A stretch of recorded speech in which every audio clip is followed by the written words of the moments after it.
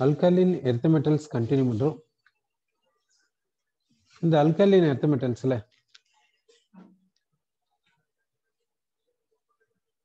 இது எந்த குரூப்பில் வருதுன்னாக்கா பீரியாடிக் டேபிளில் வந்து லாங் ஃபார்ம் பீரியாடிக் டேபிளில் டூ ஏ குரூப்பில் வருதுன்ட்டு நம்ம சொல்கிறோம் ஐயூபேக் பிரகாரம் டூ யூரோப்பியன் பிரகாரம் டூ ஏ இதில் இருக்கக்கூடிய எலிமெண்ட்ஸ் என்னென்னா beryllium magnesium calcium strontium barium radium இந்த எலிமெண்ட்ஸ் இருக்குது.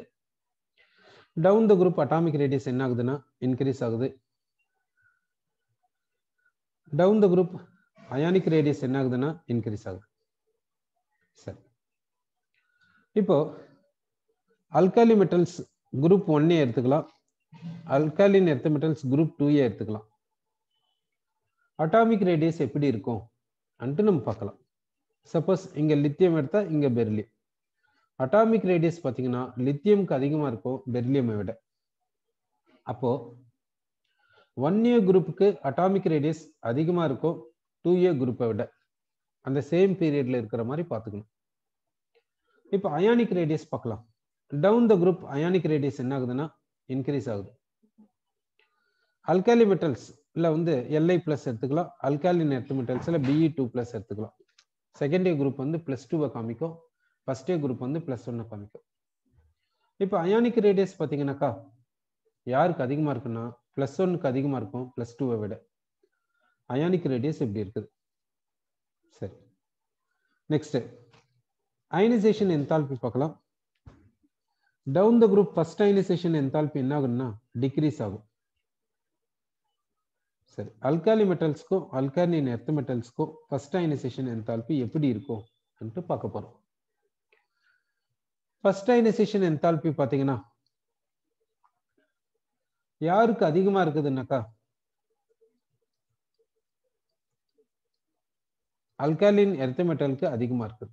First ionization enthalpy alkaline earth மெட்டலுக்கு அதிகமாக இருக்குது. ஏன்னா அலாங் த பீரியட் வந்து அயனைசேஷன் என்தால்பி இன்க்ரீஸ் ஆகுது சரி இப்போ செகண்ட் இயர் குரூப்ல செகண்ட் அயனைசேஷன் என்தால்பி பார்க்கலாம்.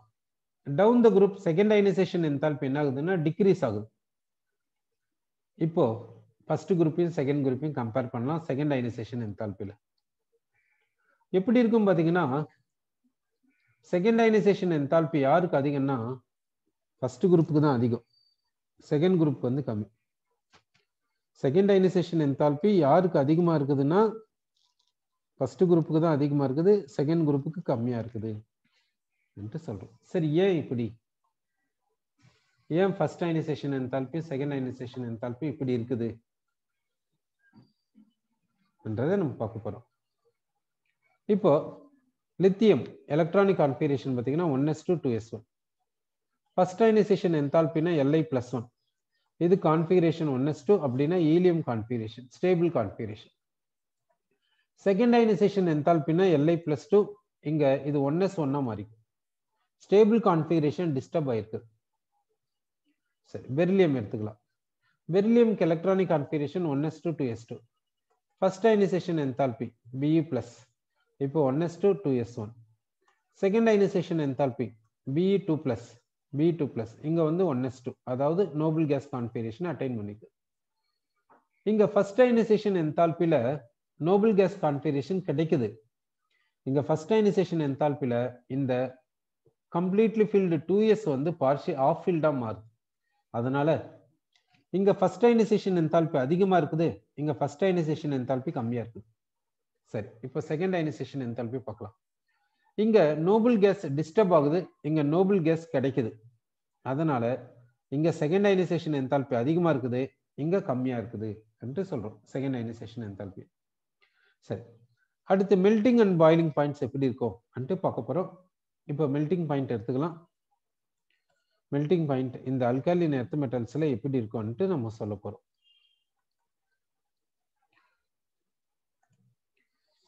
மெல்டிங் பாயிண்ட் பெரிலியம் பார்த்தீங்கன்னா one five six zero kelvin மெக்னீஷியம்க்கு nine two four கால்சியம்க்கு ஒன் ஒன் டூ ஃபோர் ஸ்டான்சியம்க்கு ஒன் ஜீரோ சிக்ஸ் டூ அடுத்து பேரியம்க்கு வந்து one zero zero two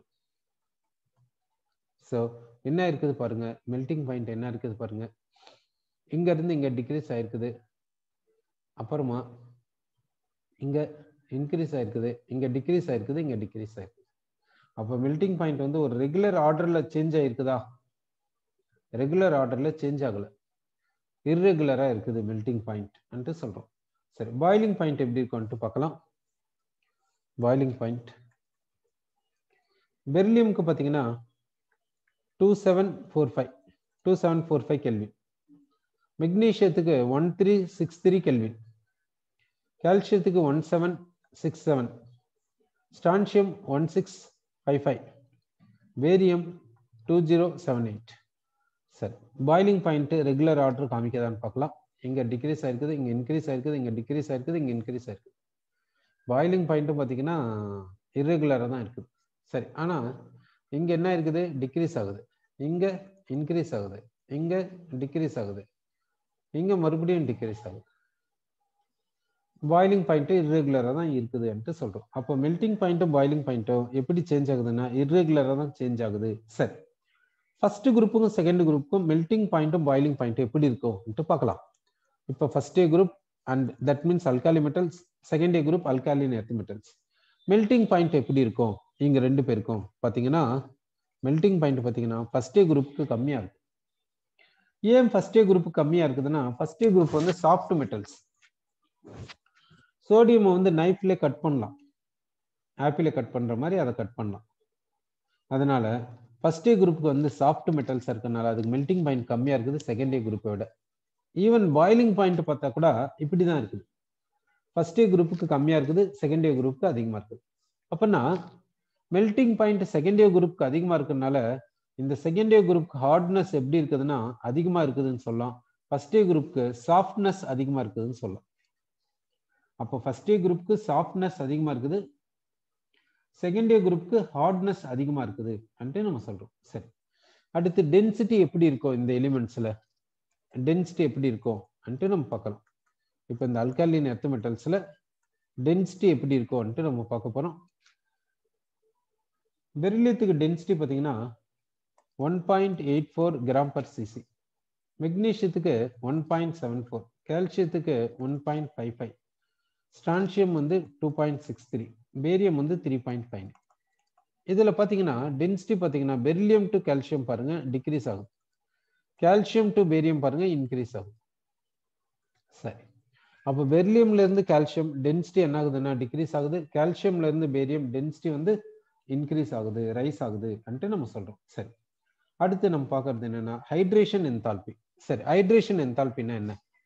இப்போ hydration enthalpy of B E two plus B E two பிளஸ்ன்னு கேட்டாக்கா இதுக்கு என்ன பேர்? எப்படி ஈக்குவேஷன் எழுதுறதுன்னா இந்த பெர்லியம் டூ பிளஸ் ஸ்டேட்ல எடுத்துக்கோங்க கேசியஸ் ஸ்டேட்ல எடுத்துக்கோங்க இதுல இதை வாட்டர்ல ஆட் பண்ணுங்க இது என்ன ஆகுன்னா ஹைட்ரேஷனுக்கு போகும் பிஇ டூ பிளஸ் ஆக்வஸ் இப்போ இந்த ப்ராசஸ்ல என்ன ஆகுன்னா இது வாட்டர் மாலிகுல்ஸோட லிங்க் ஆகுது.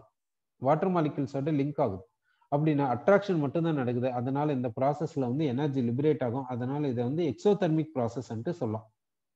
இப்போ ஹைட்ரேஷன் என்தால்பி பெரிலியம்க்கு எவ்வளோன்னு பார்த்தீங்கன்னாக்கா minus two four nine four kilojoule per mole அதாவது எக்ஸோதர்மிக்ன்றதுனால மைனஸ் சொல்லிக்கோ இவ்வளவு எனர்ஜி லிபரேட் ஆகும். மெக்னீஷியத்துக்கு ஒன் நைன் டூ ஒன் மெக்னீஷியத்துக்கு வந்து ஒன் நைன் டூ ஒன் இவ்வளவு லிபரேட் ஆகும். கால்சியத்துக்கு கால்சியத்துக்கு one five seven seven strontium பார்த்தீங்கன்னா ஒன் ஃபோர் ஃபோர் த்ரீ பேரியம்க்கு வந்து ஒன் த்ரீ ஜீரோ ஃபைவ் எல்லாமே எக்ஸோதெர்மிக் தான். டவுன் த குரூப் என்ன ஆகுது ஹைட்ரேஷன் என்தால்பி டிக்ரீஸ் ஆகுது. அப்போ எக்ஸ்டென்ட் ஆஃப் ஹைட்ரேஷன் டிக்ரீஸ் ஆகுது. ஏன்னா சைஸ் ஆஃப் சைஸ் வந்து இன்க்ரீஸ் ஆகுறதுனால. அப்படி சொல்றோம். அடுத்து வந்து இந்த ஹைட்ரேஷன் என்தால்பி ஃபர்ஸ்ட் ஏ குரூப்புக்கும் செகண்ட் ஏ குரூப்புக்கும் எப்படி இருக்கும்? அன்ட்டு நம்ம பார்க்க போறோம். இந்த ஃபர்ஸ்ட் ஏ குரூப்புக்கும் செகண்ட் ஏ குரூப்புக்கும் ஹைட்ரேஷன் என்தால்பி எப்படி இருக்கும்? ஹைட்ரேஷன் என்தால்பி எப்படி இருக்கும் பார்த்தீங்கன்னா ஃபர்ஸ்ட் ஏ குரூப்புக்கு கம்மியாக இருக்கும். செகண்ட் ஏ குரூப்புக்கு அதிகமாக இருக்கும். ஏன் செகண்ட் ஏ குரூப்புக்கு அதிகமாக இருக்குது? முன்னு பார்த்தீங்கன்னா சார்ஜ் வந்து அதிகம் இங்கே. ப்ளஸ் டூ இங்கே சார்ஜ் கம்மி. சார்ஜ் அதிகமாக இருக்குது. அப்புறமா சைஸ் பார்த்தீங்கன்னா இங்கே கம்மியாக இருக்கும். இதை விட. அப்போ சைஸ் கம்மியாக இருக்குதுன்னு என்னாகும்? வாட்டர் நல்லா அட்ராக்ட் பண்ணும். அப்போது எக்ஸ்டென்ட் ஆஃப் ஹைட்ரேஷன் நிறைய எக்ஸ்டென்ட்டுக்கு இது ஹைட்ரேஷன் போகும். இது வந்து இது எவ்வளவு ஹைட்ரேஷன் போகுதுன்னா அதிகமான அளவுக்கு ஹைட்ரேஷன் போகுது ஆனால் இது கம்மியான அளவுக்கு ஹைட்ரேஷன் போகுது அதனால இங்க ஹைட்ரேஷன் என்தால்பி அதிகமா இருக்குது இங்க கம்மியா இருக்குது. அதாவது இங்க எக்ஸோதெர்மிக் நேச்சர் அதிகமா இருக்குது இங்க எக்ஸோதெர்மிக் நேச்சர் கம்மியா இருக்குதுன்ட்டு நம்ம சொல்றோம். சரி அடுத்து வந்து ரெடியூசிங் பவர் எப்படி இருக்குதுன்னு பார்க்கலாம். ரெடியூசிங் பவர் இப்போ நம்ம பார்க்கறது என்னன்னா ரெடியூசிங் பவர் ரெடியூசிங் பவர்னா என்ன? ரெடியூசிங் ஏஜென்ட்டா ஆக்ட் ஆகுது. ரெடியூசிங் ஏஜென்ட்னா என்ன அர்த்தம்? இட் செல்ஃப் அண்டர்கோஸ் ஆக்சிடேஷன் சரி இப்போ பெர்லியம் எடுத்துக்கலாம். பெர்லியம் வந்து சாலிட் இது என்ன பண்ணுறீங்கன்னா லிக்விடாக மாற்றுங்க அடுத்து வந்து கேஸாக மாற்றுங்க அடுத்து வந்து இதுலேருந்து எலக்ட்ரானை ரிமூவ் பண்ணுங்க. ஃபர்ஸ்ட் அயனைசேஷன் என்தால்பி அடுத்து பார்த்தீங்கன்னா செகண்ட் அயனைசேஷன் என்தால்பி இப்போ பார்த்தீங்கன்னா ஹைட்ரேஷன் அப்போ பெர்லியம் ரெடியூசிங் ஏஜென்ட் ஆக்ட் ஆகுதுன்னா இந்த பெர்லியம் கடைசியில் இப்படி மாறிடும். பி டூ பிளஸ் ஆக்வஸாக மாறிடும். இதுக்கான பொட்டன்ஷியல் எவ்வளவு? இதுக்கான potential எவ்வளவுன்னா one point nine seven volt இதுக்கான பொட்டன்ஷியல் வந்து ஒன் பாயிண்ட் நைன் செவன் அப்போ பெரிலியம் சாலிட் வந்து பி டூ பிளஸ் ஆக்வஸா மாறதுக்கான potential one point nine seven volt சொல்றோம். சரி மெக்னீஷியத்துக்கு எவ்வளோன்னு பார்க்கலாம். மெக்னீஷியத்துக்கு பார்த்தீங்கன்னா two point three six volt கால்சியம்க்கு வந்து டூ பாயிண்ட் எயிட் ஃபோர் ஸ்டான்சியம்க்கு வந்து two point eight nine பேரியம்க்கு two point nine two volt சரி down the group reducing nature என்ன ஆகுது ரெடியூசிங் பவர் என்ன ஆகுது. இன்க்ரீஸ் ஆகுது அப்போ எது பெஸ்ட் ரெடியூசிங் ஏஜென்ட் பேரியம் எது வீக்கஸ்ட் ரெடியூசிங் ஏஜென்ட் பெரிலியம் அப்படி சொல்றோம். இப்போ ஃபர்ஸ்ட் டே குரூப்பையும் செகண்ட் டே குரூப்பையும் கம்பேர் பண்றோம். ஃபர்ஸ்ட் டே குரூப்பையும் செகண்ட் டே குரூப்பையும் கம்பேர் பண்றோம். எப்படி ரெடியூசிங் பவர் இருக்கும்? பார்த்தீங்கன்னா ஃபர்ஸ்ட் இயர் குரூப்புக்கு தான் அதிகமாக இருக்கும். ஃபர்ஸ்ட் இயர் குரூப்புக்கு தான் ரெடியூசிங் பவர் அதிகம் செகண்ட் இயர் குரூப்பை விட. சார் இப்போ இந்த செகண்ட் இயர் குரூப்பில் ரெடியூசிங் பவர் என்னாச்சுன்னா டவுன் த குரூப் அப்படியே ஜென்டலாக இன்க்ரீஸ் ஆகும். பேரியம்க்கு ஹையஸ்டாக இருக்குது பெர்லியம்க்கு லீஸ்டாக இருக்குது. ஆனால் ஃபர்ஸ்ட் இயர் குரூப்ல எப்படி இருந்துச்சு? இது போல இல்லை. இது போல ரெகுலர் சேஞ்ச் இல்லை. லித்தியம்க்கு ஹையஸ்டா இருக்குது ரெடியூசிங் பவர் சோடியம்க்கு லீஸ்டா இருக்குது ரெடியூசிங் பவர் அது மாதிரி பார்த்தோம். கரெக்டா சரி. ரெடியூசிங் பவர் இப்படி இருக்குதுன்ட்டு இந்த செகண்ட் இயர் குரூப்ல ரெடியூசிங் பவர் இப்படி இருக்குது. ஓகே அடுத்து இந்த செகண்ட் இயர் குரூப் எலிமெண்ட்ஸ்க்கு எப்படி இருக்குன்னு பார்த்தீங்கன்னா சில்வரி ஒயிட்டா இருக்கும். சில்வரி ஒயிட்னா சில்வர் ஆர்னமெண்ட்ஸ் எப்படி இருக்குது? புதுசா வாங்கினா எப்படி இருக்கும்? அது போல இதனுடைய அப்பியரன்ஸ் இருக்குது. அடுத்து இதுக்கு பளபளப்பு தன்மை இருக்குது இல்லை ஸ்ட்ரெஸ் இருக்குது அப்புறம் சாஃப்டாக இருக்குது. ஆனால் அல்காலி மெட்டல்ஸை விட ஹார்ட் பெரிலியம் அண்ட் மெக்னீஷியம் எப்படி அப்பியர் ஆகுதுன்னா கிரேயிஷா அப்பியர் ஆகுதுன்னு சொல்றாங்க. அல்காலின் எர்த் மெட்டல்ஸ் வந்து ஜென்ரலா சில்வரி ஒயிட் ஆனா பெரிலியம் மெக்னீஷியம் வந்து கிரேயிஷ் அப்படி சொல்றோம் அடுத்து லித்தோஸ்பியர்ல இதனுடைய அவைலபிலிட்டி எவ்வளவு பர்சன்டேஜ் அவைலபிலிட்டி எவ்வளவுன்ட்டு பார்க்கலாம். லித்தோஸ்பியரில் இதனுடைய பர்சன்டேஜ் அவைலபிலிட்டி பெர்லியம் பார்த்தீங்கன்னா டூ பிபிஎம் தான் கிடைக்குது. டூ பார்ட்ஸ் பர் மில்லியன் தான் கிடைக்குது. மெக்னீஷியம் வந்து மெக்னீஷியத்துக்கு வந்து வெயிட் பர்சன்டேஜ் கொடுத்துருக்காங்க.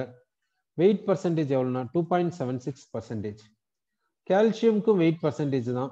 Four point six percentage four point six percentage weight percentage strontium பார்த்தீங்கன்னா three eighty four parts per million barium barium three ninety parts per million ரேடியம்க்கு weight percentage ரேடியம்க்கு weight percentage வந்து ten percentage கொடுத்துருக்கோம் ரேடியம்க்கு சரி.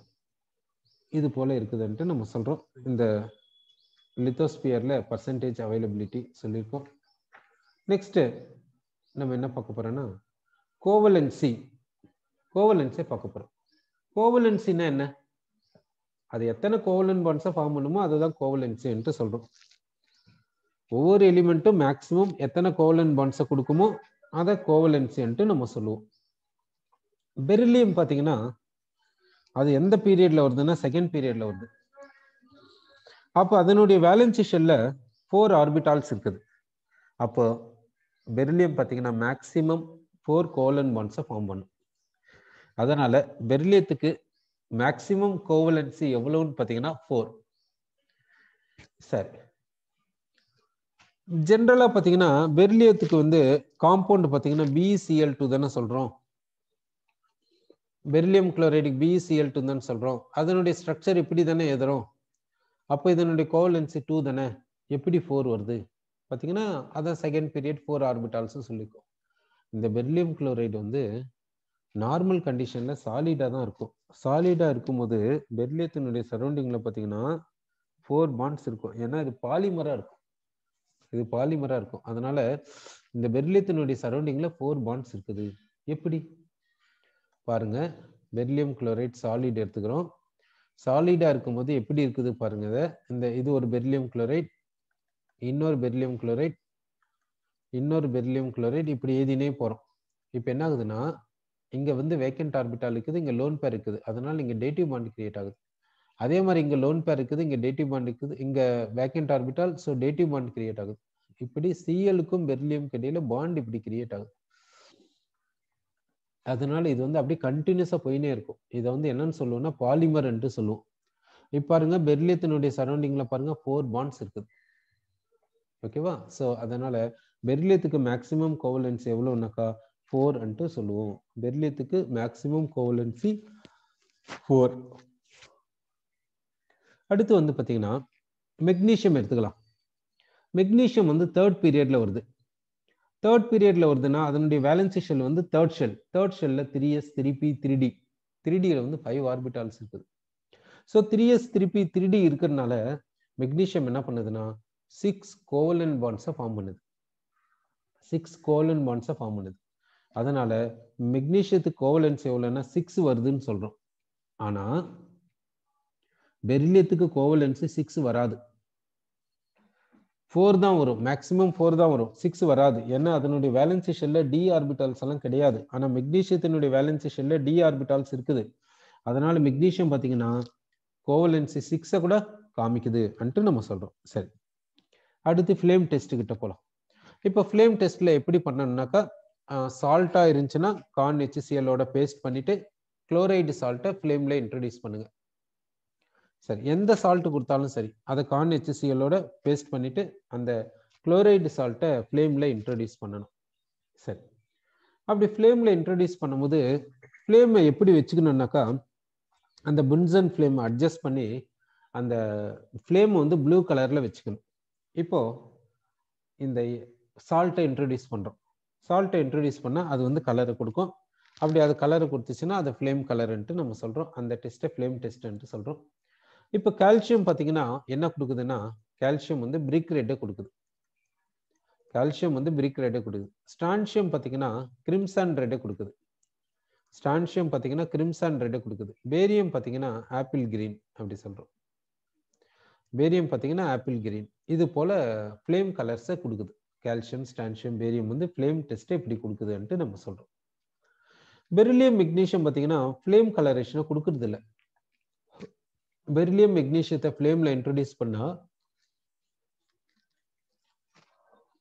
எந்த ஒரு கலரும் ஃப்ளேமில் வரல. அப்படின்னா இது ஃப்ளேம் கலரேஷனுக்கு ஃப்ளேம் டெஸ்ட்டுக்கு வரமாட்டேங்குது. அப்படின்னா கால்சியம் ஸ்டான்சியம் பேரியம் வந்து ஃப்ளேம் டெஸ்ட்டுக்கு வருது. ஆனால் பெரிலியம் மெக்னீஷியம் ஃப்ளேம் டெஸ்ட்டுக்கு வரல அப்படின்னா பெர்லியம் மெக்னீஷியம் ஃப்ளேமில் இன்ட்ரோடியூஸ் பண்ணிங்கன்னா எந்த ஒரு சேஞ்சும் நடக்கல அங்கே. அங்கே எந்த ஒரு சேஞ்சும் ஏன் நடக்கல அப்படின்னா ஃப்ளேமில் கிடைக்கக்கூடிய எனர்ஜி பெரிலியம் மெக்னீஷியத்தை சேஞ்ச் பண்ணுறதுக்கு தேவையான அளவு இல்லை சஃபிஷியண்ட்டாக இல்லை. அதனால பெரிலியம் மெக்னீஷியம் வந்து ஃப்ளேம் டெஸ்ட்டை கொடுக்கல. ஆனால் கால்சியம் ஸ்டான்சியம் பேரியம் கொடுக்குது. அப்படின்னா ஃப்ளேமில் கிடைக்கக்கூடிய amount of heat calcium strontium பேரியத்தில் சேஞ்சை கொடுக்குது. அங்கே எக்ஸைட்டேஷன் எல்லாம் நடக்குது. அதனால தான் கால்சியம் ஸ்டான்ஷியம் பேரியம் வந்து ஃப்ளேம் டெஸ்ட்டை கொடுக்குது. அப்போது பெர்லியம் மெக்னீஷியம் ஃப்ளேம் டெஸ்ட்டை கொடுக்காத காரணம் என்னென்னா பெர்லியம் மெக்னீஷியம் சைஸ் கம்மியாக இருக்குது. கால்சியம் ஸ்டான்ஷியம் பேரியமை விட. அப்போ பெர்லியம் மெக்னீஷியத்தில் வேலன்சிஷியல் எலக்ட்ரான் கிளவுட் டைட்டாக பவுண்ட் இருக்குது அங் அங்க எக்ஸைட்டே எக்ஸைட்டேஷனுக்கு போறதுக்கு தேவையான எனர்ஜி சஃபிஷியன்ட் எனர்ஜி ஃப்ளேம்ல இருந்து கிடைக்கல. அதனால பெர்லியம் மெக்னீஷியத்துல எக்ஸைட்டேஷன் நடக்கல. ஸோ அது ஃப்ளேம் டெஸ்ட்டை கொடுக்கல. ஆனால் கால்சியம் ஸ்டான்சியம் பேரியம்ல சஃபிஷியன்ட் எனர்ஜி கிடைக்கிறதுனால அது ஃப்ளேம் டெஸ்ட்டை கொடுக்குது அன்ட்டு நம்ம சொல்றோம். சரி. அடுத்து இந்த அல்கலின் எர்த்து மெட்டல்ஸ் கெமிக்கல் ப்ராப்பர்ட்டிஸை பார்க்கலாம். இது பார்த்தீங்கன்னா இது கெமிக்கல் ரியாக்ஷன் போகுதுன்னா போகுது alkaline earth metals chemical reaction போகுது ஏன்னா அல்காலின் எர்த் மெட்டல்ஸு எர்த்து கிரஸ்ட்லேருந்து கிடைக்குது இல்லை அது நேட்டிவ் ஃபார்மில் கிடைக்கிறது இல்லை கம்பைன்டு ஸ்டேட்டில் தான் கிடைக்குது. ஃபார் எக்ஸாம்பிள் மெக்னீஷியம் பார்த்தீங்கன்னா கார்னலைட் அப்படி சொல்கிறோம் கம்பைன்டு ஸ்டேட்டில் தான் கிடைக்குது. ஏன் நேட்டிவ் ஃபார்மில் கிடைக்கல? ஏன் எலிமெண்டல் ஃபார்மில் கிடைக்கல? ஏன்னா அதுக்கு ரியாக்டிவிட்டி அதிகம். அப்படின்னா அல்காலின் எர்த் மெட்டல்ஸ் கண்டிப்பாக கெமிக்கல் ரியாக்ஷன் போகும்ன்ட்டு கன்ஃபார்ம் ஆயிடுச்சு. சரி இப்போ alkali metals alkaline earth metals ரெண்டுமே கெமிக்கல் ரியாக்ஷன் போதும்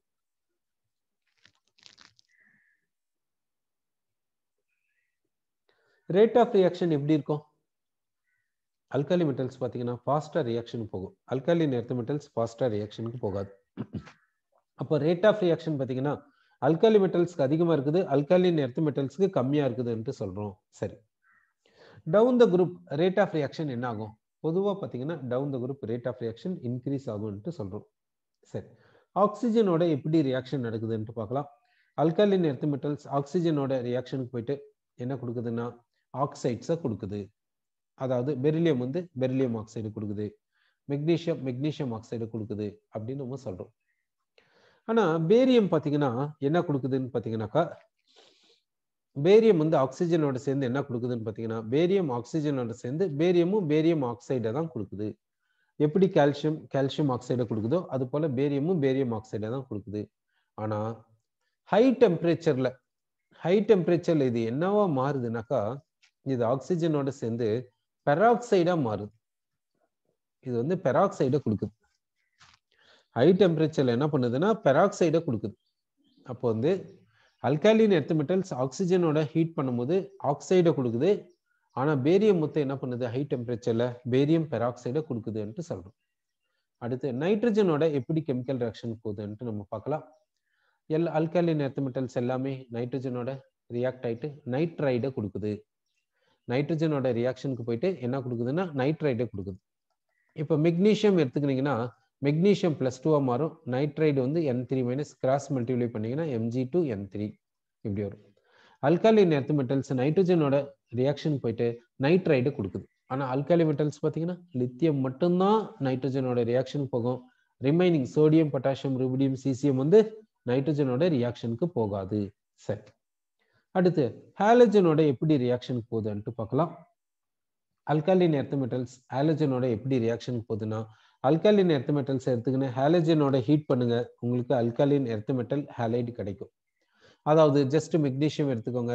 குளோரினோட ஆட் பண்ணுங்க. என்ன வருதுன்னா மெக்னீஷியம் குளோரைட் தேவையான டெம்பரேச்சரை கொடுத்துருங்க. மெக்னீஷியம் குளோரினோட சேர்ந்து தேவையான டெம்பரேச்சர் கொடுத்துட்டா மெக்னீஷியம் குளோரைடு கிடைக்குது. சரி. அப்போ அல்காலின் எர்த்து மெட்டலை ஹாலஜனோட சேர்த்து அல்காலின் எர்த்து மெட்டல் ஹாலைடை நம்ம ப்ரிப்பேர் பண்ண முடியும். ஆனால் பெரிலியம் ஹாலைடை மட்டும் இப்படி ப்ரிப்பேர் பண்ண முடியாது. ஸோ பெர்லியம் ஹாலைடை எப்படி ப்ரிப்பேர் பண்ணுறதுன்ட்டு நம்ம பார்க்கலாம். இப்போ நம்ம என்ன compound எடுத்துக்கிறோம்னா NH four twice BeF four இந்த காம்ப்ளெக்ஸ் எடுத்துக்கிறோம். இந்த காம்ப்ளெக்ஸில் பார்த்தீங்கன்னா இது வந்து NH four plus ions cations இருக்குது. ஆனியான் பார்த்தீங்கன்னா பிஇஎஃப் ஃபோர் டூ மைனஸ் இருக்குது. பிஇஎஃப் ஃபோர் டூ மைனஸ் இப்போ இதை ஹீட் பண்ண என்ன ஆகுதுன்னா இது டீகம்போஸ் ஆயிட்டு என்ன கொடுக்குதுன்னா BeF two and NH four F ammonium fluoride கொடுக்குது. சரி. அடுத்து என்ன எடுத்துக்கிறேன்னா பெரிலியம் ஆக்சைடு எடுத்துக்கலாம். கோக் எடுத்துக்கலாம். குளோரின் ஆட் பண்ணலாம். ஆட் ஆட் பண்ணலாம். ஹீட் பண்ணலாம். எவ்வளவு டெம்பரேச்சர் கொடுக்குறேன்னா six hundred to eight hundred kelvin கொடுக்குறோம். இப்போ இங்கே என்ன ஆகுதுனாக்கா இந்த கார்பன் இந்த ஆக்சிஜன் எடுத்துக்கின்னு கார்பன் மொனாக்சைடை வெளியே போயிடுது இந்த பெர்லியம் இந்த குளோரின் எடுத்துக்கின்னு பெர்லியம் குளோரைடு மாறுது.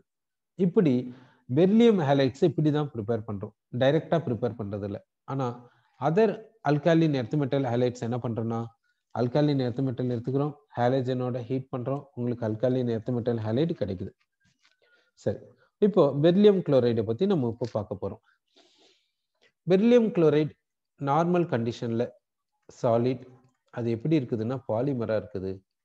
பெர்லியம் குளோரைட் சாலிட் வந்து பாலிமராக இருக்குதுன்ட்டு நம்ம சொல்கிறோம் அடுத்து இந்த பெர்லியம் குளோரைட் வேப்பராக இருக்கும்போது எப்படி இருக்கும்ன்ட்டு பார்க்கலாம்.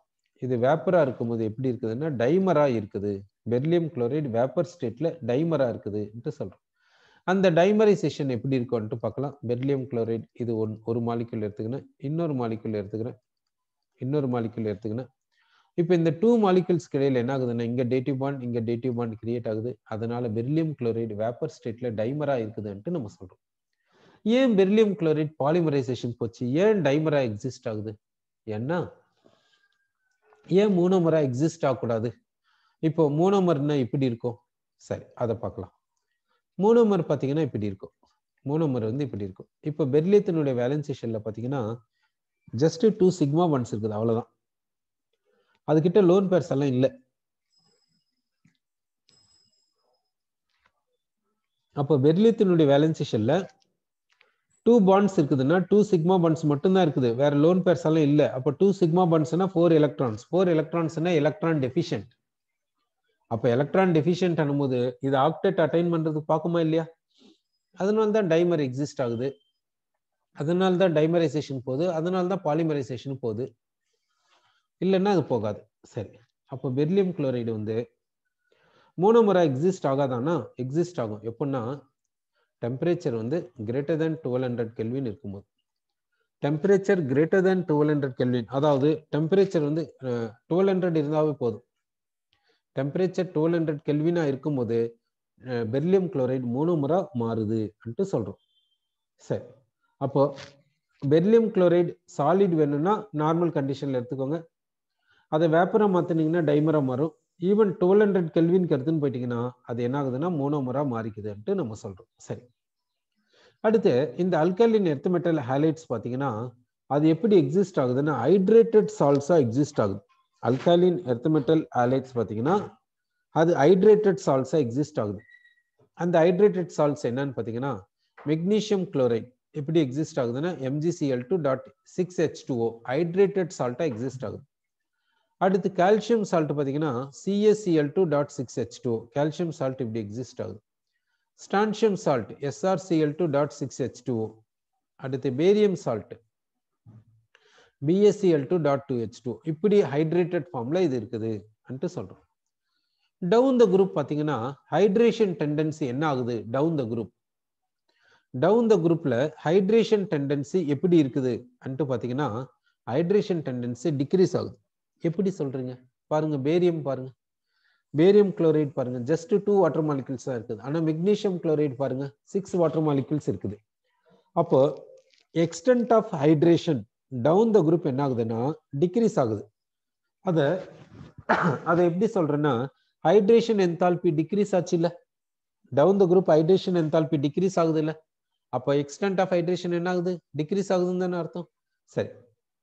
அடுத்து இந்த ஹைட்ரேட்டட் சால்ட்டை எப்படி ஆனைட்ரஸ் சால்ட்டாக மாத்துறது அன்ட்டு நம்ம பார்க்கலாம்.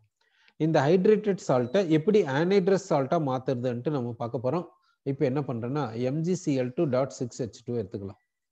இதில் இருக்கக்கூடிய வாட்டர் மாலிகுல்ஸை ரிமூவ் பண்ணிட்டா இது வந்து ஆனைட்ரஸ் சால்ட்டாக மாறிடும்.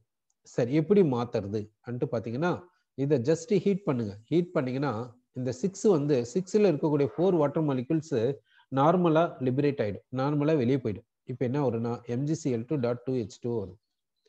இதை வந்து டைஹைட்ரேட் சால்ட் இதை வந்து டைஹைட்ரேட் சால்ட்ன்ட்டு சொல்கிறோம் இந்த டைஹைட்ரேட் சால்ட்டை ஃபர்தராக ஹீட் பண்ணா என்ன ஆகுனாக்கா இதை ஃபர்தராக ஹீட் பண்ண என்ன ஆகுன்னா இந்த மெக்னீஷியம் ஹைட்ராலிசஸ்க்கு போகுது. இந்த மெக்னீஷியம் என்ன பண்ணுதுன்னா வாட்டர் கிட்ட இருந்து ஓஹெச் மைனஸ் அயனா வாங்கிக்குது. ஓஹெச் மைனஸ் அயனை வாங்கிக்குது. இதுக்கு வந்து பிளஸ் டூ இதுக்கு வந்து மைனஸ் ஒன் இன்னொரு மைனஸ் ஒன் வேணும். அதனால சிஎல் மைனஸ் ஒன் கொடுத்துருங்க. மெக்னீஷியம் ஹைட்ராக்சி குளோரைடா மாறிக்குது. அப்படின்னா இதை ஃபர்தரா ஹீட் பண்ணா இந்த மெக்னீஷியம் என்ன பண்ணுதுன்னா ஹைட்ராலிசஸ்க்கு போகுது. இதை ஃபர்தரா ஹீட் பண்ணா இது என்ன ஆகுதுன்னா எம்ஜிஓவை கொடுக்குது. அப்படின்னா ஆனைட்ரஸ் எம்ஜிசிஎல் டூ கிடைக்கல. அப்போ டைஹைட்ரேட் எம்ஜிசிஎல் டூவை ஹீட் பண்ணா என்ன ஆகுதுன்னா அது ஹைட்ராலிசிஸ் போதே தவிர ஆனைட்ரஸ் எம்ஜிசிஎல் டூவா மாறல. சரி. அப்போ இந்த MgCl two dihydrate MgCl two dihydrate இதை எப்படி ஆனைட்ரஸா மாத்துறது? இது ஆனைட்ரஸ் எம்ஜிசிஎல்ட்டோ மாத்துறதுக்கு நம்ம என்ன செய்யணும்? ஆனைட்ரஸ் எம்ஜிசிஎல்ட்டோ மாத்துறதுக்கு நம்ம என்ன செய்யணும்? பார்த்தீங்கன்னா இங்க ஹைட்ராலிசஸ் நடக்குது இல்ல அந்த ஹைட்ராலிசஸ் ரியாக்ஷனை ஃபர்ஸ்ட் நம்ம பார்க்கலாம். இப்போ எம்ஜிசிஎல் டூ எடுத்துக்கிறோம். இந்த எம்ஜிசிஎல் டூல யார் ஹைட்ராலிசஸ்க்கு போறாங்கன்னா எம்ஜி டூ பிளஸ் ஹைட்ராலிசிஸ்க்கு போகுது. இந்த எம்ஜி டூ பிளஸ் வாட்டர்ல இருந்து என்ன பண்ணுதுன்னா ஓஹெச் மைனஸ் எடுத்துக்குது. ஓஹெச் மைனஸ் எடுத்துக்கின்னு இது போல மாறுது. இங்க வாட்டர்ல என்ன ரிமைனிங் இருக்குதுன்னா ஹெச் பிளஸ் ரிமைனிங் இருக்குது. வாட்டர்ல ரிமைனிங் ஹெச் பிளஸ் இருக்குது. அப்படின்னா இந்த மெக்னீஷியம் ஹைட்ராலிசிஸ் போகும்போது ஹெச் பிளஸ் கிரியேட் ஆகுது. அப்போ அசிடிக் நேச்சர் இருக்குது. அப்போ என்ன பண்ணணும்? இந்த ஃபார்வேர்டை பேக்வர்டா மாற்றிடணும் இந்த ஃபார்வேர்டை பேக்வேர்டா மாத்தணும்னா என்ன செய்யணும்? ஆசிடை ஆட் பண்ணணும். அதனால என்ன செய்யணும்னா இந்த இடத்துல ட்ரை ஹெச்சிஎல் கேஸ் எடுத்துக்கிறோம். ட்ரை ஹெச்சிஎல் கேஸ் எடுத்துக்கணும் three fifty degree Celsius heat பண்ணா என்ன ஆகுதுன்னா இது இந்த ஹெச்சிஎல் ட்ரையா இருக்குது. இது என்ன பண்ணுதுன்னா இந்த வாட்டர் மாலிக்யூல்ஸை அப்சார்ப் பண்ணிக்குது. இந்த ட்ரை ஹெச்சிஎல் கேஸ் இந்த வாட்டர் மாலிக்யூல்ஸை எடுத்துக்குது. ஓ அப்படின்னா வாட்டர் மாலிக்யூல்ஸ் இங்க இருந்து ரிமூவ் ஆயிடுச்சுன்னு தானே மீனிங் அப்போ வாட்டர் மாலிகூல்ஸ் ரிமூவ் ஆயிடுச்சுன்னா இங்க என்ன இருக்கும்? ஆன்ஹைட்ரஸ் எம்ஜிசிஎல் டூ இருக்கும் அன்ட்டு நம்ம சொல்றோம். சரி இப்படிதான் ஹைட்ரேட்டட் சால்ட்டை ஆன்ஹைட்ரஸ் சால்ட்டை இப்படி மாத்துறோம் அன்ட்டு சொல்றோம். பெரும்பாலான ஹைட்ரேட்டட் சால்ட் பார்த்தீங்கன்னா அதை வந்து ஹீட் பண்ணா அது எலக்ட்ராலிசிஸ் போகும். அப்போ ஆனைட்ரஸ் சால்ட்டை ஹைட்ரேட்டட் சால்ட்லேருந்து கொண்டு வர்றது டைரக்ட் ஹீட்டிங்கில் முடியாது. சில இதெல்லாம் முடியும். சில இதில் முடியாது. ஓகே சரி நெக்ஸ்ட்டு ரியாக்ஷன் வித் வாட்டர் வாட்டரோட எப்படி ரியாக்ட் ஆகுதுன்ட்டு நம்ம பார்க்கலாம். பெரிலியம் வந்து வாட்டரோட ரியாக்ஷனுக்கு போகாது. ஏன் பெரிலியம் வாட்டரோட ரியாக்ஷனுக்கு போகாதுன்னு பார்த்தீங்கன்னா பெரிலியம் எடுத்துக்கோங்க அதனுடைய சர்ஃபேஸ் சர்ஃபேஸில் இருக்கக்கூடிய பெர்லியம் ஆட்டம்ஸ் வாட்டரோட ரியாக்ஷனுக்கு போயிட்டு பெர்லியம் ஆக்சைடாக மாறிக்கும். இந்த பெர்லியம் ஆக்சைடு வந்து எப்படி இருக்குன்னா இன்சாலுபிளாக இருக்கும்.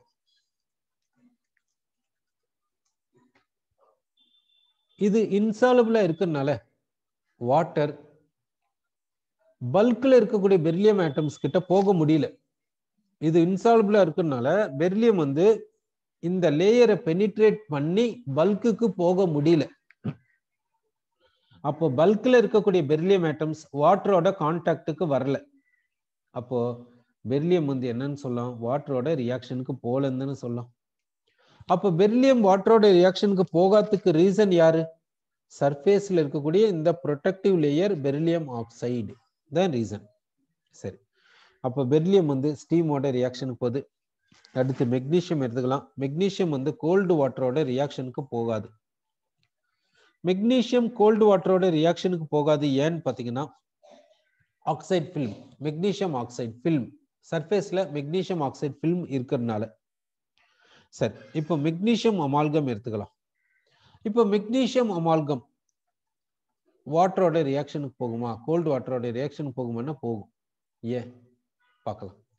சர்ஃபேஸில் இருக்கக்கூடிய மெக்னீஷியம் மெக்னீஷியம் ஆக்சைடாக மாறுது. இந்த மெர்குரி இந்த மெர்குரி வந்து ஒன்றும் ஆகிறது இல்லை இங்கே வந்து மெக்னீஷியம் அமால்கம் எடுத்துக்கிறோம். இந்த மெர்குரி அப்படியே தான் மெர்குரியா இருக்குது. சர்ஃபேஸில் இருக்கக்கூடிய மெக்னீஷியம் மட்டும் மெக்னீஷியம் ஆக்சைடாக மாறுது. அந்த மெர்குரி எந்த ஒரு ரியாக்ஷன் போல இப்போ பார்த்தீங்கன்னா இதுதான் சர்ஃபேஸ் சர்ஃபேஸில் மெக்னீஷியம் ஆக்சைடு இருக்குது மெர்குரி இருக்குது. இப்போ இது மெட்டல் இது மெட்டாலிக் ஆக்சைடு இது ரெண்டுத்துக்கு இடையில அட்ராக்ஷன் இருக்காது. அப்போ இங்க இந்த சர்ஃபேஸ் வந்து எப்படி இருக்குதுன்னா இன்சாலுபிள் லேயரா இல்லை. அதனால water can penetrate through the surface and goes to the bulk அப்போ பல்க்குக்கு போறதுனால பல்க்ல இருக்கக்கூடிய மெக்னீஷியம் ஆட்டம்ஸ் என்ன பண்ணிருதுன்னா வாட்டரோட கான்டாக்டுக்கு போகுது. வாட்டரோட கான்டாக்டுக்கு போறதுனால அது வாட்டரோட ரியாக்ஷனுக்கு போகுதுன்ட்டு நம்ம சொல்றோம். சரி.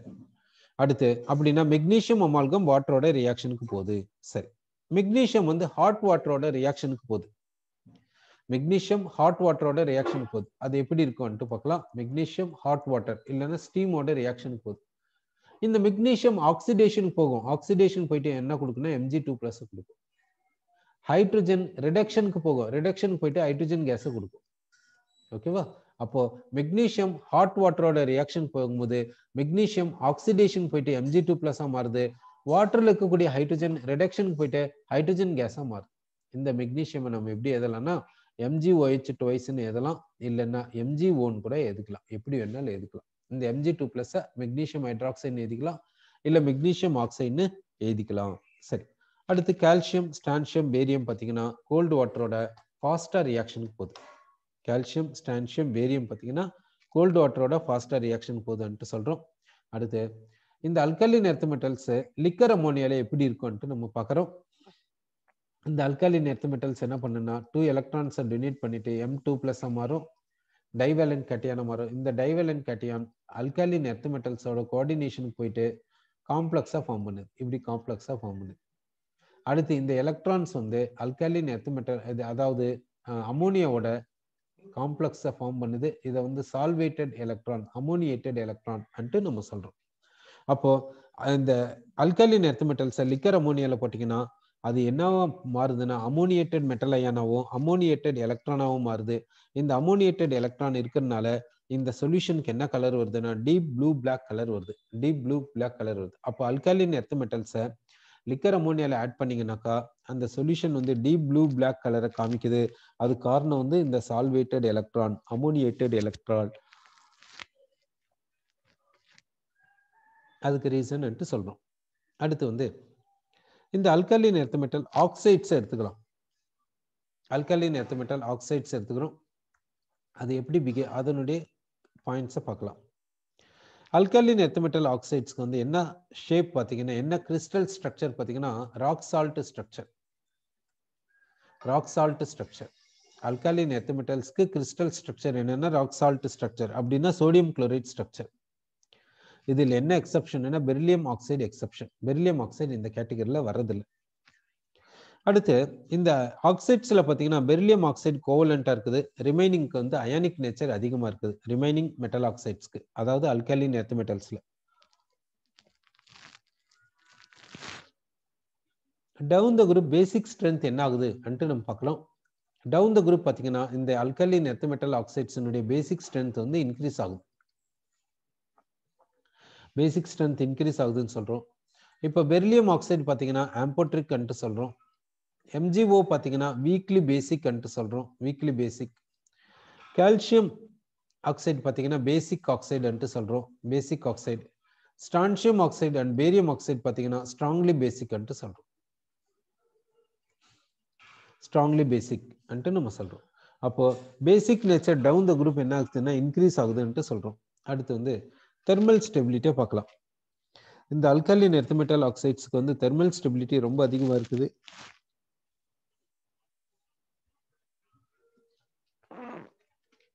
எப்படி ரொம்ப அதிகமாக இருக்குதுன்ட்டு நம்ம சொல்கிறோன்னா இந்த மெட்டலர்ஜியில் ஃபர்னேசஸை யூஸ் பண்ணுறோம் ஃபர்னேஸில் பார்த்தீங்கன்னா அசிடிக் லைனிங் பேசிக் லைனிங் அன்ட்டு கொடுப்பாங்க. ஃபர்னேஸினுடைய இன்னர் வால்ஸில் ஆசிடை கோட் பண்ணுவாங்க இல்லை பேஸை கோட் பண்ணுவாங்க. அசிடிக் லைனிங் வேணும்னா ஆசிடை கோட் பண்ணும். பேசிக் லைனிங் வேணும்னா பேஸை கோட் பண்ணும். சரி.